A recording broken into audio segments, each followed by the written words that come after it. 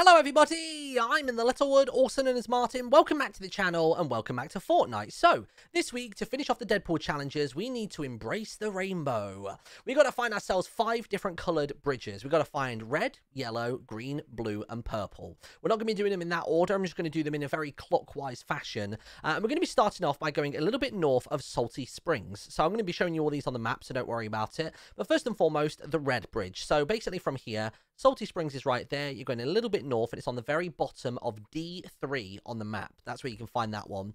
You go across that bridge, and you head your way into Pleasant Park. And then if you go east out of Pleasant Park, so you're basically going past the gas station, uh, and make your way across the map, and you can find the blue bridge right about here. So again, on the map, you're looking at my camera icon, basically east of Pleasant Park, and you're looking in, what is that, like E3?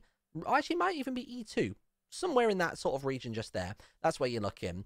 Now, the next one is a little bit further away. We've got to dip through Frenzy Farm and come out the other side until we reach the Green Bridge. Um, some of these bridges you'll be familiar with because we've done them for other previous weekly challenges. So if you're a bit of a challenge buff, then you'll be all over this situation. Uh, but the Green Bridge is right about there. So from Frenzy Farm, you want to go basically directly southeast, a really nice diagonal line, right over to this bridge here, and that's that one sorted. Basically west of Dirty Docks if you want a better roadmap towards it.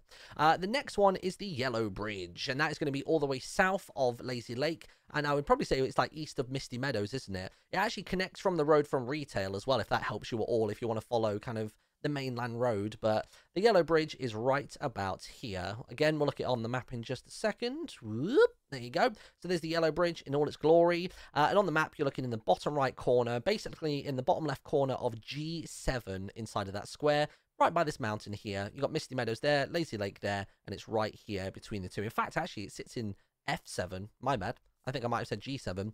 Uh, and anyway, from there, we want to go all the way over to Slurpy Swamps for our final bridge, which is going to be the Purple Bridge. Um, it's a shame that that one's not blue, given that it's near Slurpy Swamps, you know what I mean? But I guess, to be fair, the Slurp logo also has a splash of purple inside of it as well, but I feel like blue would have stood out just that little bit more.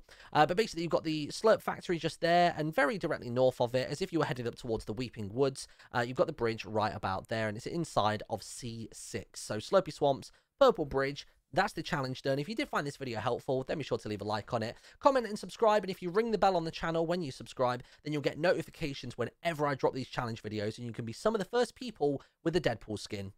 Good, right? Pretty good.